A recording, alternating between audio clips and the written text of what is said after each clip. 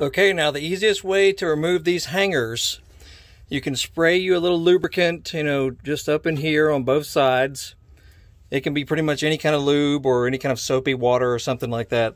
Then get you a good big set of channel locks, some serious ones, and you're going to use that end of the prong to push on basically. And it's going to take a little effort, you know, so you're going to put the bottom jaw on the end of the prong. Then just start squeezing.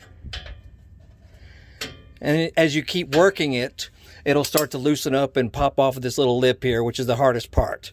But just, yeah, just use channel locks and a lot of force and a lot of manipulation, and it'll come off of there. That's it as far as exhaust hangers.